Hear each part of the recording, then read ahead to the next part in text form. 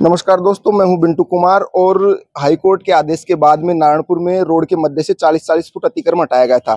उसके बाद वापस अस्थायी और स्थायी रूप से अतिक्रमण हो गया था। दुकानदारों ने दो मई को एसडीएम नारायणपुर को अतिक्रमण हटाने के लिए ज्ञापन दिया था। उसके बाद में ग्राम पंचायत ने उस ज्ञापन के बाद एक्शन में आई और अब अतिक्रमण हटाने का जो प्रोग्राम है तीन जुलाई को हटाने जा रहे हैं। हमारे साथ ग्राम पंचायत नारायणपुर के वार्ड पंच हैं और ग्राम विकास अधिकारी विजय कुमार जी हैं। इनसे बात करेंगे कि अतिक्रमण हटाने का जो पूरा कार्यक्रम है, किस प्रकार रहेगा और क्या क्या अभी तक इन्होंने अतिक्रमण में हुआ है। सर, मैं जानना चाहूँगा कल तीन जुलाई है और अतिक्रमण हटाने का कार्यक्रम है। कैसे, क्या है पूरा कार्यक्रम?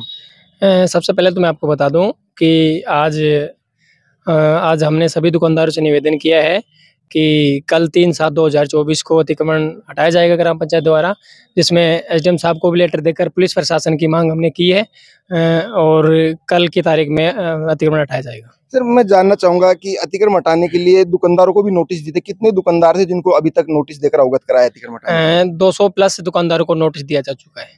अतिक्रमण हटाने के लिए अभी जानकारी में आया कि कमेटी भी आपने गठित की है। कितने लोगों की कमेटी है और किस तरीके की कमेटी कौन कौन है उसमें?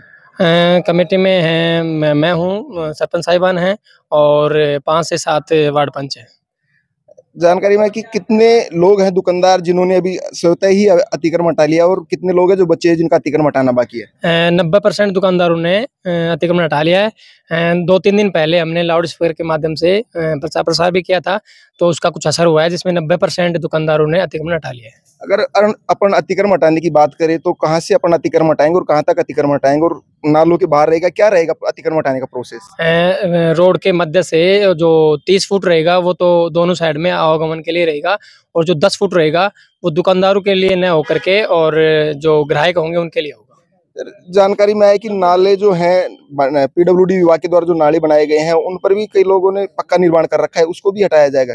हाँ उसे प्रशासन से मिल करके और उसका भी अगर पुलिस जाब्ते की बात करें तो पुलिस प्रशासन आपको मिल गया कल के लिए? हाँ एस साहब से बात हो गई वो कल के लिए पुलिस जाब्ता उपलब्ध करवा देंगे। तो आप देख सकते हैं स्थायी और अस्थायी रूप से जो अतिक्रमण दुकानदारों द्वारा किया गया है, उसको कल ग्राम पंचायत के द्वारा हटाया जाएगा। पाँच लोगों की एक कमेटी बनाई गई है। उस कमेटी में पाँच वार्ड पंच हैं। वो वार्ड पंच जो आज ग्राम पंचायत जो मुख्य मतलब मुख्य बाज़ार जो था, उसमें गए हैं, सर्वे किया उन लोगों ने। किन लोगों ने हटा लिया, किन लोगों ने हटाया। आप भी भार्गव जी, उस कमेटी में है, पाँच सदस्य कमेटी है उसमें। क्या है वो पूरा? हम पाँच छह वार्ड पंच सरपंच ग्राम सेवक जी पूरा प्रशासन इस कमेटी में है और आज हम मार्केट में जाकर सभी दुकानदार भाइयों से हाथ जोड़ के निवेदन किया है कि भाई कल किसका भी नुकसान नहीं हो और ये अपना अतिक्रमण स्वयं हटा ले। तो ज़्यादातर अतिक्रमण सबने हटा लिया है कुछ रह गए हैं वो कल अतिक्रमण हट जाएगा। अतिक्रमण हटाने का जो प्रोसेस रहेगा वो कहाँ से स्टार्ट होगा और कहाँ समाप्त होगा ये? ये मैं इधर अपने बास बैरी साल से लेकर के और अपने तिराए तक इसका वो रहेगा।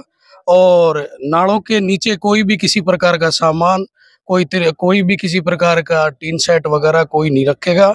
सबको इजाज़त दी दी है और लोग, लोगों से समझाइश करी है, लोग मान गए हैं करीब करीब ग्राम पंचायत के द्वारा जो कानूनी कार्रवाई होती है, जो कागज़ कार्रवाई है, वो पूरी कर ली है आपने अतिक्रम हटाने की? कागज़ कार्रवाई कंप्लीट हो चुकी है, सबको नोटिस दे दिया गया है, एसडीएम साहब प्रशासन को अवगत करा दिया है, पुलिस जाब्ता उपलब्ध करा दिया गया है और सारी कार्रवाई कंप्लीट है कल के लिए और कल अतिक्रमण हटेगा।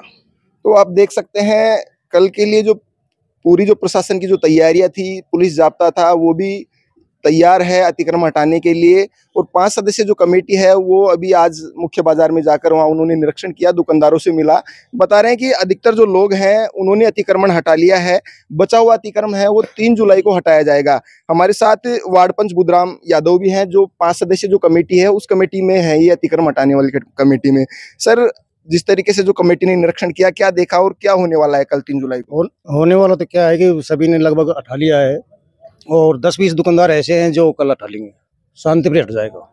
तो आप देख सकते हैं शांति प्रिय पूरा जो अतिक्रमण हटाने का है वो प्रोसेस है। आप भी ग्राम सेवक जी अंतिम सवाल मेरे से है यहाँ के जो दुकानदार हैं यहाँ के जो लोग हैं उनसे क्या अपील करना चाहेंगे अतिक्रमण को लेकर?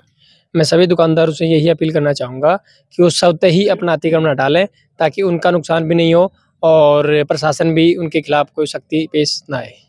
ग्राम सेवक जी, मैं जानना चाहूँगा कि जो अस्पताल के आसपास में, ये जो रोडवेज़ बस स्टैंड है, इसके आसपास में भी ठेलियाँ वगैरह हैं, इनके लिए कहीं व्यवस्था की है? इनको कहाँ व्यवस्थित करेंगे? इनको भी हटाया जाएगा, क्या रहेगा इनका? नहीं ठेलियों को पीछे करवा दिया गया है और इनके लिए अलग से एक दस फुट का जोन बनाया जाएगा ताकि वो उसी में सीमित रहें।